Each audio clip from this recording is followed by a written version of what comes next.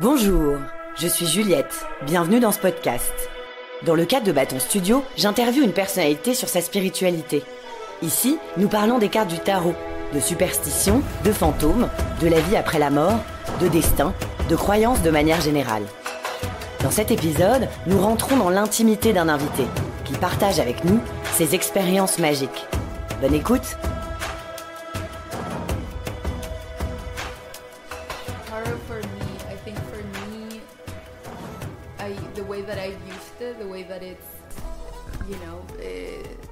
a tool. It's been guidance. I think you know, it's a way to create movement, create thought, uh, mostly guidance. I think is is a like a really beautiful way to understand certain things and yourself. You know, uh, through yeah something that's also bigger something that's uh, beyond you know and i think for me the the effect or every time i get my, my cards read it just it makes me think you know? It makes me exit myself exit my body for a second and be like okay there's something bigger here. Um, but i would say the, the main thing is guidance. It's, it's a way to like reorient myself in, in my path and, and remember my north star you know? Yeah. The thing be bigger than us, what is Yeah. it hmm. I think for me it's it's like um the only way that i can explain it really truly is like um just like a collection of energies you know? Us it's people it's connection it's the universe you know? You can call it i think many different things. People i think connect to this beyond through religion through each other you know it's purely like a reminder that we're a collection of something bigger you know it's like a whether that's you know your ancestors um, whether it's the earth itself you know i think it's like a just a collection of energies i think that's how i've always understood the beyond You told me that uh, you had your card Mhm. reading, but do you do yourself? never Never. Never. I never have. And I've been really curious, you know, but it's something that, yeah, it, it, I feel like there will come a time in my life when I when I'm like I'm ready to get my my own deck, you know. I think that's coming for me, but I, I'm not in a rush and I'm not forcing it. I know that the right deck or the right person will be like, here, this is yours, and I know that there's a world. I'm so curious by it, and I'm so interested in it. You know, I believe it always has moved me. You know, I Mm. mean, you've read my cards now so many times. You know, and and always I'm like I. It makes me think. It, I believe Mm. in it. It gives me guidance. But yeah, but I've never read my own cards, and and I think I will, but it just hasn't happened. Yeah. Is there a card you know a bit some Yeah. stuff about, or no, not Yes. at all? Well, the fool, of course. The backpacker. Yeah, of course. It's my my most favorite card. It's like uh it's my reminder. For me, the fool, I when I got my cards read by you, now I think it was four or five years ago, uh, at the end of 2019, right before 2020, right before the pandemic. The main card that came through was the fool, and I remember, you know, you explaining to me this archetype and what it means. And then Christoph, our friend, you know, he was also there, uh, who, you know, I remember he talked to us and told us that for him, he had a whole year where he embodied the fool, you know, and he obviously himself is a performer and, uh, and like the, the- just the idea of, you know, walking into life with your eyes closed and, and just like, disposition, you know, Mm. to accept and Mm. allow. And um, to me, it's like a. I'm naturally I'm not like the fool, which is why the fool is so attractive to me because it is something that I think is. Um, I would love. I, I love how I feel when I embody qualities Mm. of the fool. You know, it's so beautiful. Which card are you if you're not the fool? I don't know. I don't know. I think I'm. I think I exist between the fool and um, it's like I love control and I also love I'm a dreamer, you know? It's like I have a very a very logical side and I have a very dreamlike side and I think something I've been learning is that I have these two sides of myself always kind of fighting against each other, you know? Mhm. uh, which is why I think for me now lately it's like how can I merge? How can I make them come together? You know, um, and I think the fool kind of it's like the energy of the fool reminds me to just let go a little bit more and uh, yeah. But I yeah I, I don't know what card I would be. What card do you think I would be?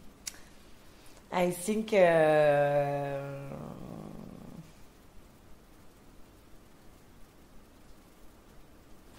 I think le pendu is the quality you have to see things and to make your opinion before acting. But uh, I, I don't mean you're super serious, but like you super like uh, uh, welcoming people with open heart, and you go on the the mountain of the of the people to Mm. understand them. So I think I o- often see you to be le pendu, Mm. uh, to observe, to welcome, Mm. because it's the quality of the pendu to welcome. I love that. But uh, le fou, you are also. huh? Yeah, You I are body- have. Yeah, I have my fool with me.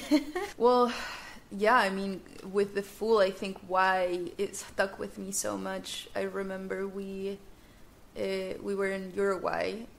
Uh, Christoph, our friend, picked us up, you and I, and it was Christmas Day, right? And we went to his house in the middle of these fields, and we had melon and white wine, and and it was Christmas. Essentiel. Yeah. Demi-vin essentiel. Yeah, yeah, and it was summer, and it was, you know, it was like uh, we all, this Belgian guy, this French girl, and this Chilean girl, all in the middle of Uruguay on Christmas, spending time together like a family, you know? Uh, and you both, you know, did a full reading for me that night, kind of overlooking the year and what would come, and the Fool was sort of the main, the main card that came through and I remember both you and Christoph telling me in different ways because like you know I mean Mm. you're uh, the way just you know he's so particular and he's so amazing and he's such a he feels and he's very spiritual and then you have so much knowledge of the tarot so I had these two wonderful intelligent like uh you know in tune people telling me that I needed to just like embody this Mm. archetype Mm. and what that meant and i remember you know being like yeah this is i'm going into this upcoming year uh, with just this knowledge and then we danced and then yeah. We've been full. and then we were the yeah we embodied the fool we're Well, just like totally. going crazy dancing in this house you know the three of us. And like the oh it was like there, remember there was nothing inside the house. It was completely empty. But Christoph had these beautiful drapes and curtains and textiles like he had dyed kind of hanging so it was just the three of us on Christmas Day eating melon For you, tarot, yeah is it a tool to have a look on the future? Hmm. What the future uh, gonna look like? You know, I think for me, the way that I maybe the way that I experience it is a tool to reorient my present more so. You know, it's a way to think of my current uh, reactions, my current experiences, and remember that maybe I need to adjust a little, you know? So the way you know it's like uh, by kind of looking into the future i need to it's like remembering that i need to oh maybe i need to change the path a little bit and maybe i need to think of this in a different way Do you think there is a destination for each other? We talk about destin, destiny. hmm Is it something you believe in? i think i think we have the power to change maybe or or we have free will um but I definitely, definitely, definitely think that there are certain uh, things, experiences, people that we need to meet, that we need to come across. I think there's a lot of nuance and a lot of um, details, you know, that we can change. It's like we, we have the power to decide and choose. I don't think that we're uh, incapable because there's just one specific fate that we need to follow. I do, but I do think that there are certain certain things that just need to happen, and I, it's like um, our our life moves in a direction for a reason. I think, and we're drawn to certain things We're attracted. We feel uh, energy towards specific things, people, places, because I think. Uh, there's something there, right? It's like mm. we were talking about this last night. Like, why is it that we sometimes can feel connection to a place where we have mm. we have nothing in common to that place. Or sometimes you meet a person and you're like i feel like i've known you forever. Mm.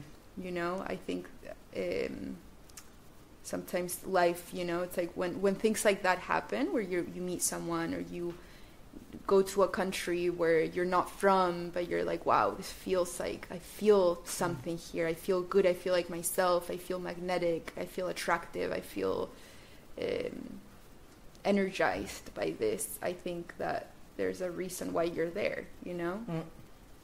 there's a teaching. And yesterday we talk about the uh, what we talk about yesterday ah, the, the red uh... the red string. Yeah the red string. I think you know, uh, my friend, my beautiful friend Natalia, you know, talked to me about this only a week ago or two weeks ago, and it's a beautiful Japanese legend that tells, you know, or explains fate, I think, in a really beautiful way. And it essentially it talks about this old man that lives on the moon, and before you're born, he ties a little red string to your pinky finger, and he ties it to another human and throughout life you're brought together by this invisible string that connects you to and uh, you know the the red string throughout your life it can contract it can tangle it can you know f- never feel like it's quite there but it's but it never cuts and it's always there and throughout life we're you know we're taken to these people and i just um, yeah Natalia explained it to me, and I was like, this makes all the sense in the world. It's such a beautiful way of explaining it because sometimes, you know, it's like when you meet certain people where you're just like, yeah, you were meant to be in my life. You were a million percent meant to come and teach me this and show me this. And, you know, and for me, now that I've kind of, you know, I've moved quite a lot and I've, uh, you know, I left Chile when I was so young and then uh, I've lived now in a few different places, so sometimes I'll come across certain people where I meet them for maybe two days, and I have this connection with them, and and I know, you know, even if years go by, I'm like, I know you're gonna come around in my life. I know I'm gonna see you again, like you and I, you know. Mm. Hadn't seen each other in five years, but I've always known. Mm. I've always known. I'm like, the time will come when Juju and I connect because we're tied by this thing already. Mm. Like we've connected in a way that's kind of unexplainable and i have this like love and care even though i have no clue what's happening maybe in your life right now mm.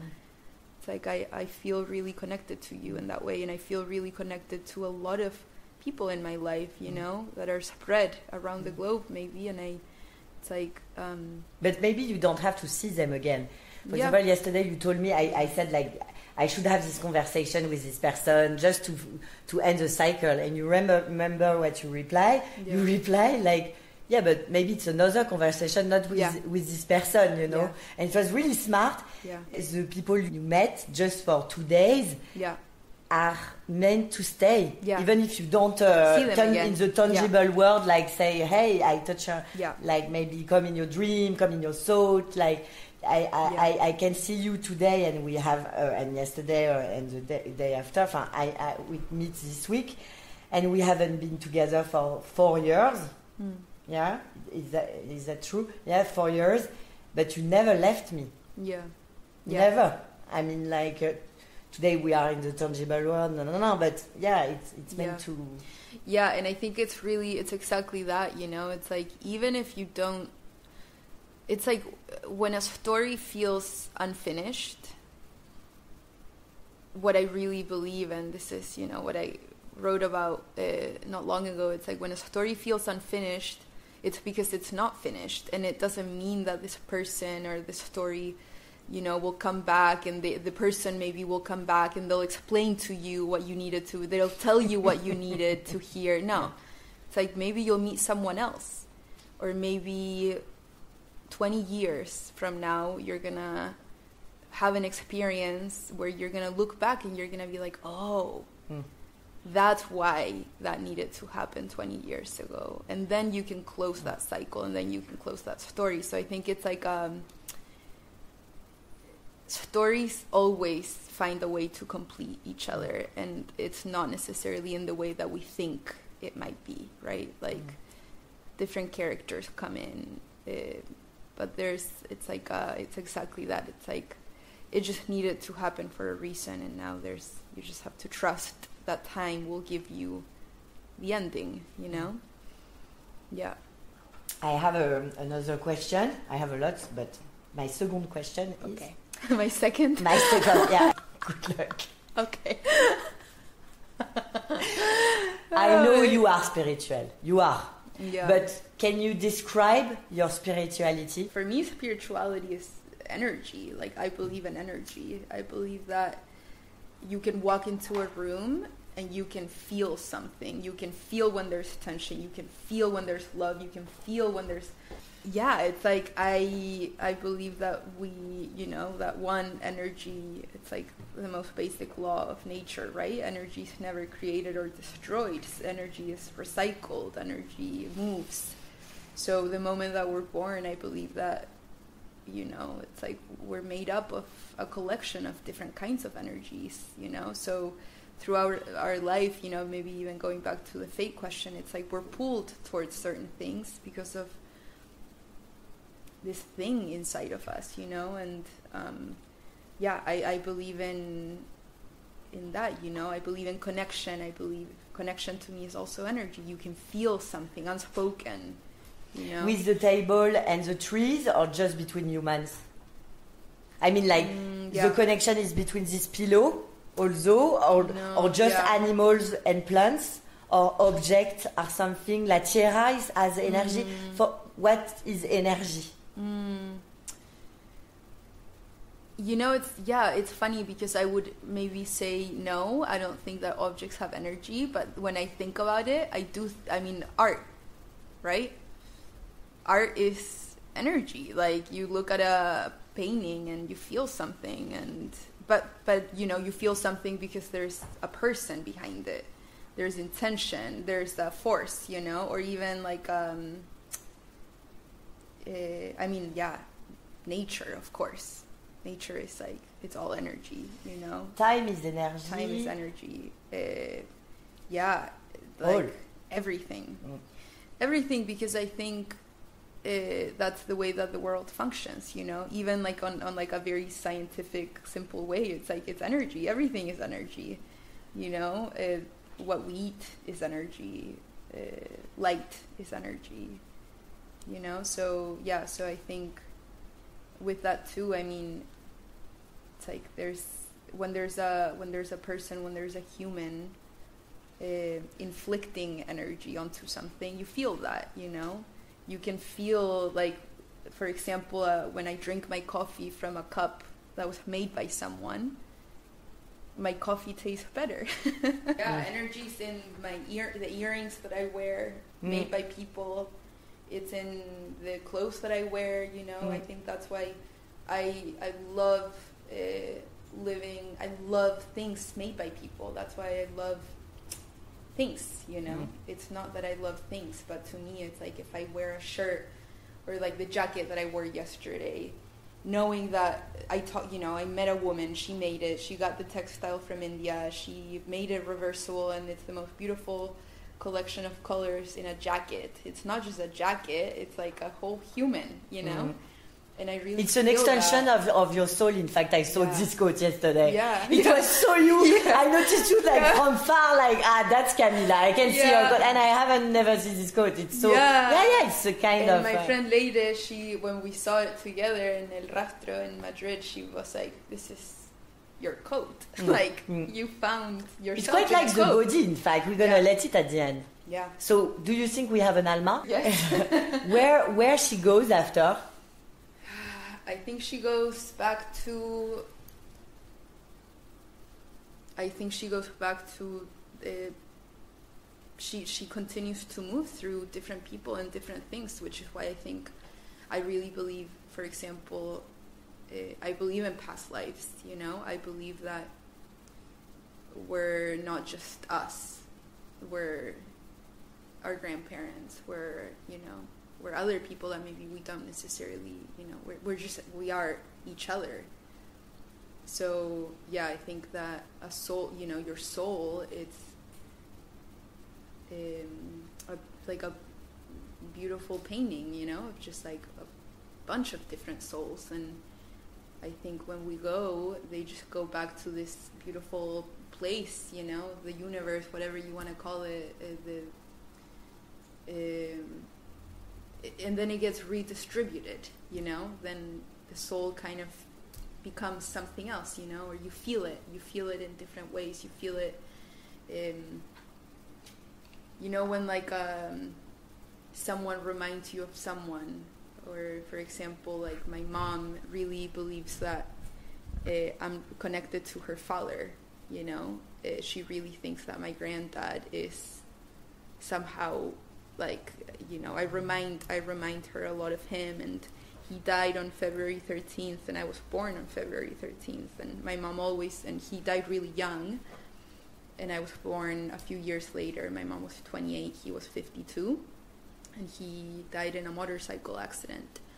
Uh, and my mom is convinced that like he you know he's sent me or that we're connected sometimes i'll be doing things around the house and my mom will be like you're my dad like like you're my dad or or, or she'll be like oh he he would do that and um he like loved you know the outdoors and he had this really wild sense of adventure and uh, he was kind of the clown of the family and my mom you know sometimes i'll even play music or she'll and she'll be like oh that was my one time it happened where my mom was like that was my dad's favorite song like i haven't heard that song in forever and it had been a song you know that i had been listening to just by chance and i Mm. loved it and i just like played it for my family one day and so yeah so i think that the soul it's like it's not just us you know it's it's a whole line of people and experiences and things and i think when we die it just gets recycled and like repurposed and that's why we feel a connection to other people because it's not just us you know Mm. it's like uh, there's so much inside of us yeah Are you superstitious? Um, yes and no. I think, I think I, I, hmm, not in like a in a very literal sense. You know, I don't. It's not like I live my life not doing certain things because I think it'll be bad luck. But I do think, yeah, I try to be very intentional. You know, I believe in karma. I think I believe in. Uh, the way that you know that we experience the way that that we give love the way that we are comes back to us so i try to live a really intentional mindful life and i try to give love you know? I i think um, that's returned. Everything is returned. Everything's a mirror you know? So i believe in that. So but i don't you know i don't think that if you see a black cat um, no. I don't think i uh, I don't live my life in that way. Yeah, Numbers? no. No. The number 13 feels relevant because I was born on February 13th. My grandpa died on February 13th. I was born in a room 13. Um, so the 13 kind of, I don't know what, you know, but I feel like there's something, there's something there. Um, I've never really explored it, but no, I've never, I've ne- numbers have never really been so relevant. They say 13 is bad luck, and I'm like, well, not so far. Knock on wood. huh? Did you have already experienced like bad karma or good karma? What did it some stuff you believe in? I think I try to be really conscious of my thoughts. Um, I try to, you know, manifestation. I think the way that I see it is not like a, you think you can buy a mansion and then you know you visualize the mansion and then you get the mansion. I don't think that necessarily works. I don't believe in that, but I do think it's a lot deeper than that. It's your uh, it's like your neural pathways, you know, the way that your brain is wired, our conditioning. Uh, if you can really truly believe that you can do something, that you can achieve something because you've seen it, you've seen examples of people like you, people that look like you, people that maybe had the same opportunities as you, you know. Uh, if you see that and you're exposed to that, then you yourself fully believe that you can also make it happen, which is why they say that, for example, men, you know, especially white men, like they can achieve these things sometimes because they've seen it. So they're like, yeah, I can I can be the CEO of a company like that and I can make that much money. Like, of course, because he did it and he's like he's like me. You know, it's why for a woman sometimes it's harder, of course, you know, because we haven't seen examples. you know? So I think it's um, for me it's like if we can then begin to be conscious of that, it's like okay, if I want to achieve something and not just like a material things, but anything, right? Like a relationship maybe. Uh, but you haven't seen an example of it and you don't think that you're worthy of maybe receiving the love or receiving um, the care you know because of things that happened when you were a kid or you know anything it's like then it's not going to happen for you so i think it's a matter of like okay well how can i start to relearn certain patterns? How can I start to show myself that this is something that I can achieve? Um, and then when I really believe that the moment that you really start to believe that you can do it, that you're worthy, that's when things show up for you. Jobs, uh, relationships, friendships, you know, when you're like, yeah, I deserve a really good friend because Oh, you know then like that's when the really good friend shows up. I really think i really think that happens. So that's my entire thing right now you know? I think i'm trying to show myself that i deserve certain things or that i'm worthy of certain things. And i you know it's a slow process. It requires like me uh, taking care of my body you know? It requires me uh, having moments with myself where I can listen to myself, you know, like um, it's also it's like if you can't give yourself the love, then you know, then how are you gonna find that anywhere else? So I do that by you know I try to be mindful of uh, one like on a very simple level. It's like how am I taking care of my body? You know, I'm not great at it, but like I try to get good sleep so I can have a good morning, so I can have a good day, or like eat things that make me feel good. Not always, because I love bread and cheese.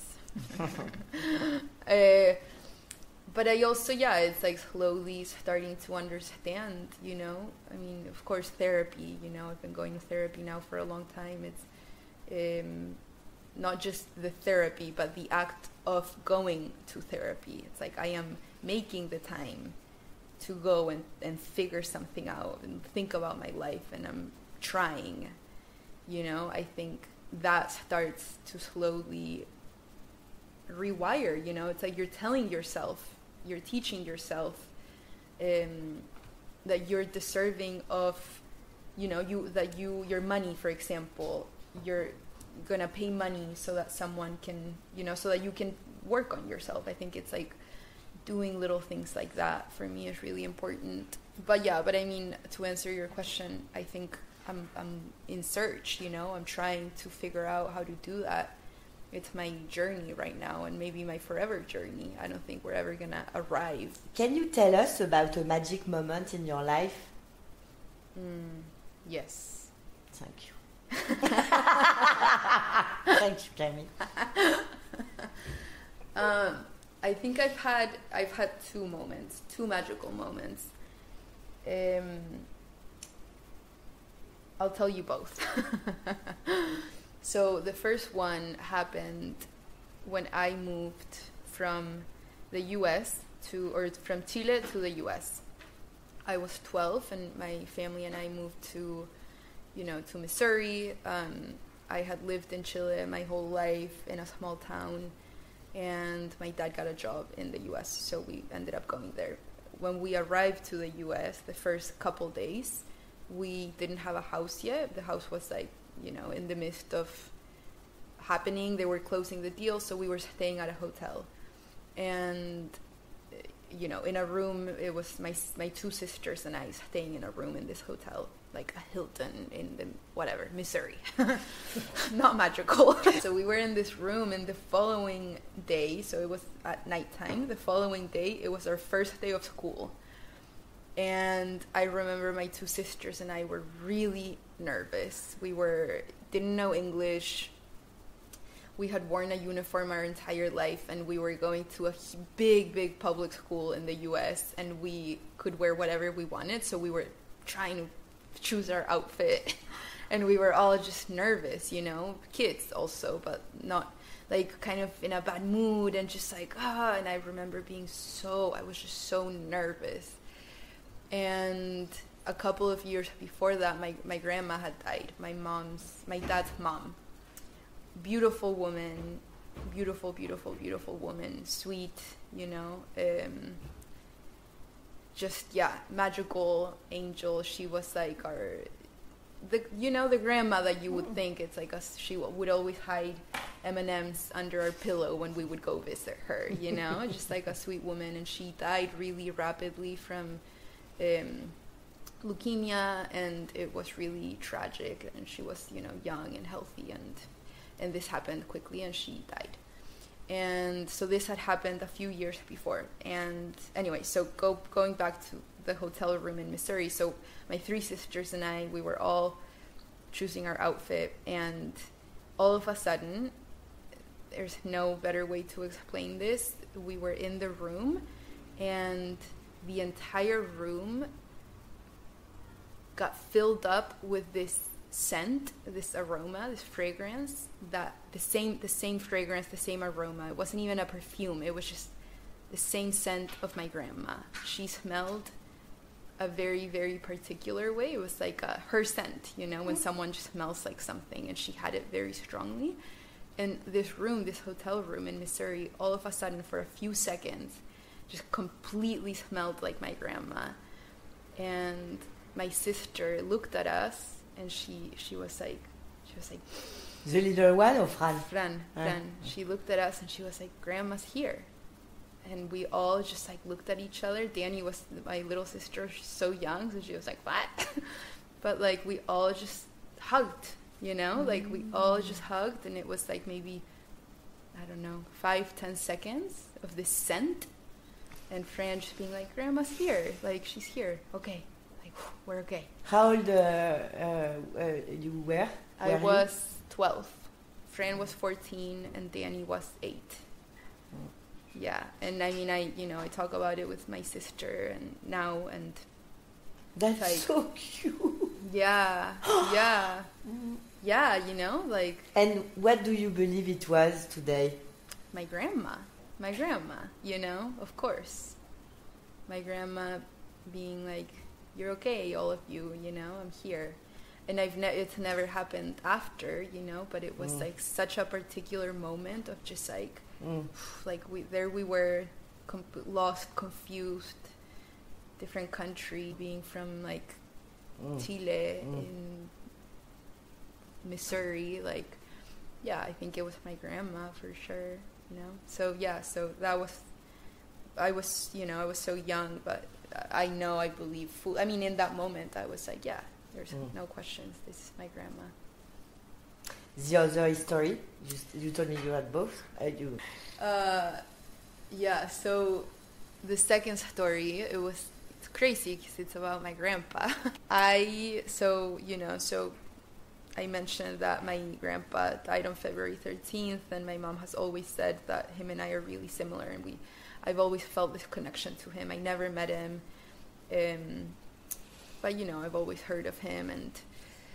And yeah, and um, I re- so it happened maybe two years ago. Two years ago, I was living in Los Angeles. Um, I was in a house, living with two friends, but I was alone in the house, and I was sitting in the kitchen, writing. I was working on, you know, like a little poetry book at the time, so I was writing a poem, and um, I was having dinner with my book or with my journal, and I saw this like magazine right there that I had actually worked for. So I started going through it and I saw this like little letter there that was like a letter from the author to her grandpa and it started with Dear Grandpa. So I was like, oh, what an interesting. I was like, I should write a letter to my grandpa. I don't know, I've never done it. So I opened my journal and I started writing this letter. I started with Dear Grandpa.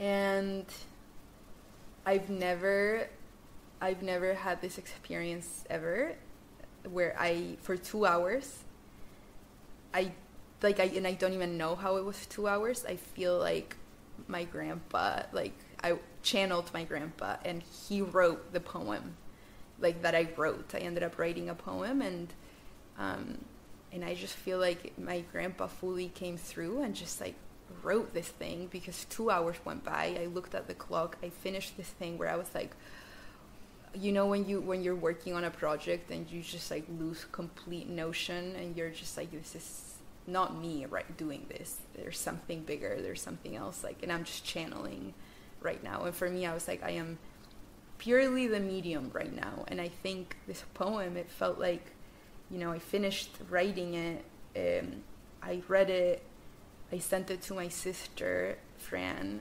She called me crying and she was like this feels like grandpa wrote a letter to mom. You have to send it to mom. You have to send it to her. This is like so i sent it to my mom and my mom called me crying and she was like this is like she was like it's my dad. Like this feels like my dad wrote this to me and and i again you know not to it's like i don't i don't think i wrote it you know? And um i've never uh, I mean, that's why I write, you know, that's why we do creative things because we feel like there's something bigger being channeled through us, you know. That's what I look for when I write. And I've had little moments where I feel it, where you're just like, you forget about time and all of a sudden it's dark, you know, and like you've just been working on this thing and it feels so good and that's why I continue to do it. But I think this one was so particular because I truly was like, I'm just words are like pouring out of me and I'm just writing this thing and yeah and then you know it felt like a spiritual experience truly where I was like this is I had never felt so connected to him you know like I was like he's here with me through me that experience was kind of like a again I was like I'm, I'm channeling something I think here beyond myself um, or that's you know it's like yeah, it just felt I maybe it's I'm not explaining it well, but it just felt so powerful, you know? Like it felt really different. It felt like I wasn't in reality for that moment. I was somewhere else. what are the dreams? Where do they come from? I think it's our Where? where well, I think it's obviously our our subconscious. It's something uh, I don't know if I don't know if it's a I think it's again it's like the the beyond, right? Like something outside of ourselves and our brain processing this information um, that kind of comes through, you know? I I really I dream so much. I dream every single night and I have like five dreams. Like it's sometimes too much. where I wake up and I'm tired. Where I'm just like I didn't even sleep. I just dreamt, you know? and then it's so crazy to me that some people don't dream. You know, like eh, I I dream. I close my eyes and I start dreaming. So I think yeah, I think it's like um, it's just it's information. You know, it's information coming at you, and I think um, it's a, it's our mind processing things it's our body processing things you know that maybe we don't have the capacity to see when we're awake you know? So i think it's information being handed to us um, do you believe in telepathy? I think there is yes. Yes because i i experienced it with my sister a lot you know? Uh, yeah, I think that sometimes there's like an understanding that goes beyond words, of course. You can look at someone and you can know things, you know. And without seeing each other? Yeah, also. Yeah, I think so. I think that I felt it with specific people, you know, when you can just feel. You just feel. Your grandma? My grandma. I felt it with, yeah, I felt it a few times, yeah, more than a few times actually you know? I mean crazy when sometimes you just think of someone and then all of a sudden you get a call from them because and they're like i was thinking of you and i was like yeah of course i think um, i think we're a lot more powerful than we think and i think our thoughts are a lot more powerful than we think. We don't give them enough credit in a good and in a bad way. When we talk to ourselves in a specific way i think that affects everything so monitoring the, our thoughts i think is like such a powerful tool that we don't think about too much you know? It's like our thoughts are the mind is powerful. So yeah so i think that when you think of someone when you feel something and or something is coming at you i think there's something being exchanged in the in the air you know? Or mm. so, you know it's it's like uh, again energy. So yeah i think telepathy, and I mean with my sister, I all the time. What is love for you? Hmm. Love, love is, love is, love is life. Love is life force. Love is what keeps everything moving.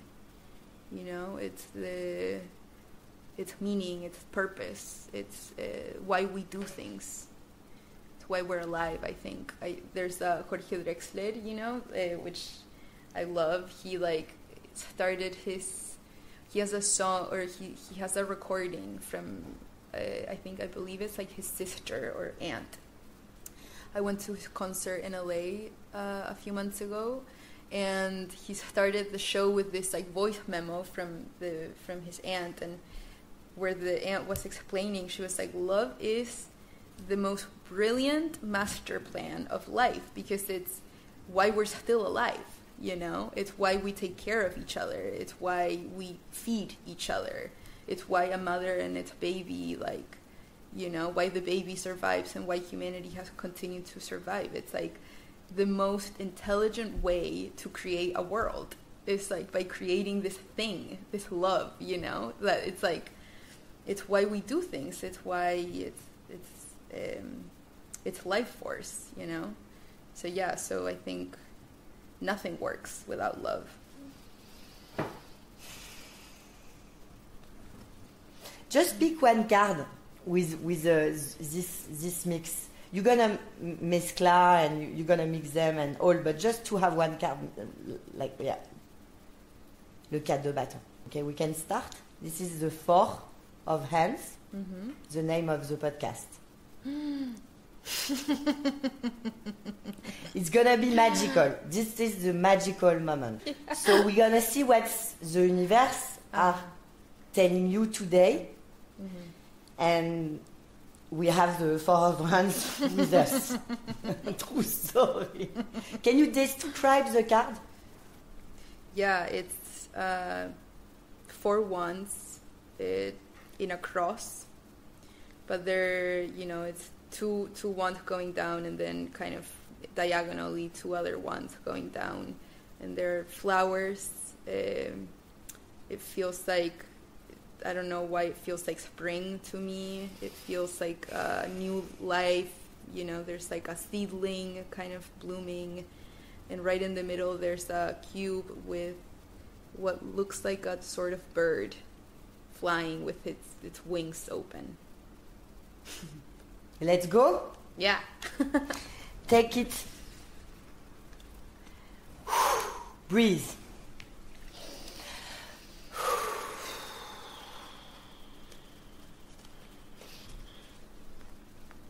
oh, that felt good. You have two solutions. Or you ask a question and they're gonna answer. Or ah. the question is, what are you what, what do you want to tell me today? That's the mm. second question and they will respond.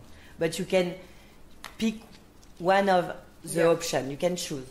Okay.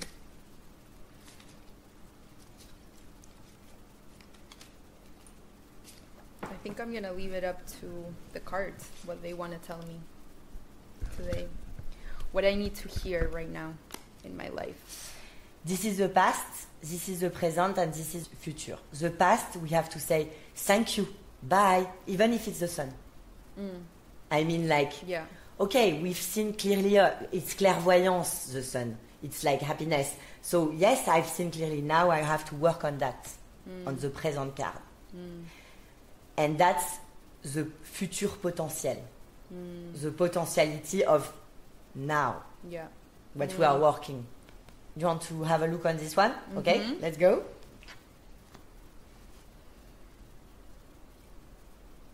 What do you see? I see. It's the seven of cups, no? Cup of yeah, seven of cups. Eight. Eight, huh? yeah, and it's um, there's a balance right in right in the middle. Uh, there's life, you know. I see leaves growing, and I see yeah, eight cups full. Yeah, the past is in the past, and you are in peace with that. Hmm. The Eight of Cups, cups, it's emotion, it's intime. It's what, how do you, f- how do we feel? Hmm. Eight is to leave something behind who don't serve you anymore, hmm. and so that's super healthy, super balanced. Past is in the past in your energy. It don't mean like you forgot. It means like you are not struggling so much, or the tarot is telling you you know how to do. So mm. you mm. have that in you.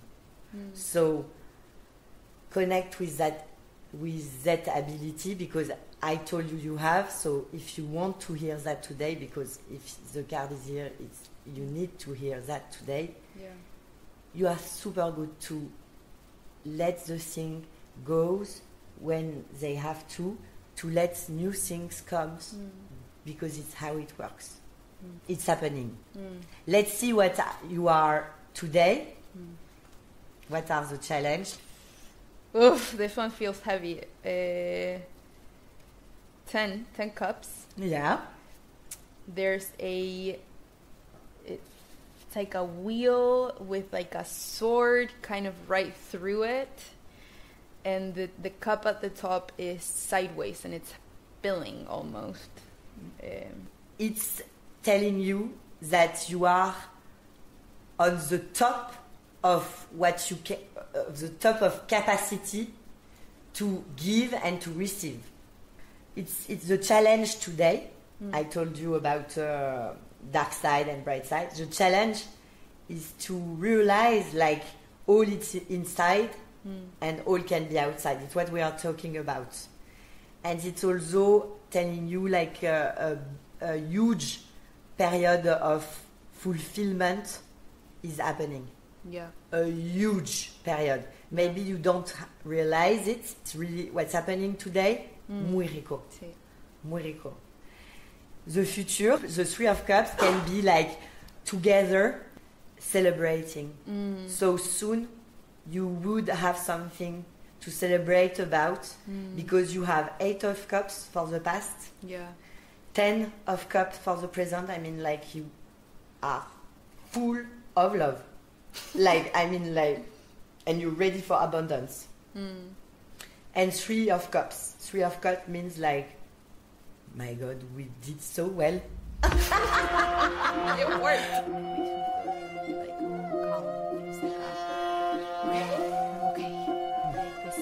Which I know,